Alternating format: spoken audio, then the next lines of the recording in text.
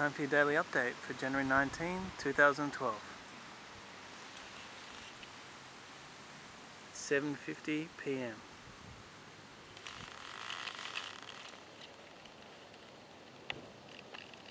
It's 20 degrees Celsius.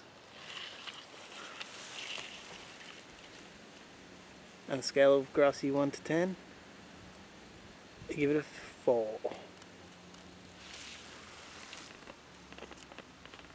Speak to you tomorrow.